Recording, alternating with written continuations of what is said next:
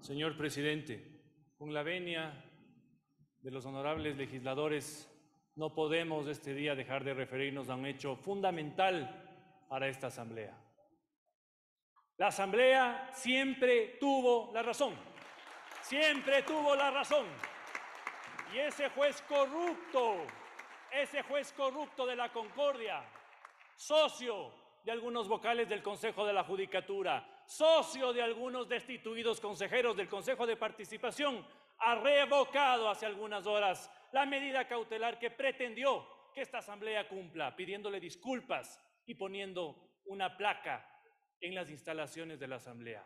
Es importante, señores legisladores y señor presidente, que esto se conozca en el país, que esto se conozca en el país, porque ese juez que devuelve los bienes a los narcos, que libera a los asesinos condenados a 24 años con sentencia ejecutoriada y que actuó en complicidad contra esta Asamblea Nacional y su decisión legítima de destituir a los consejeros, hoy como se ve contra las cuerdas, como se ve contra las cuerdas, y porque sabe que su destitución es innegable, toma esta decisión.